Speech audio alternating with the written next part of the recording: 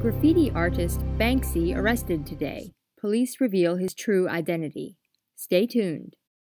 The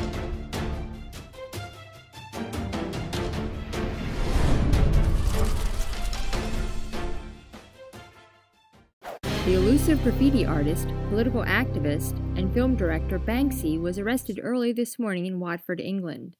Police revealed Banksy's real name is Paul Horner, a 35 year old man from England.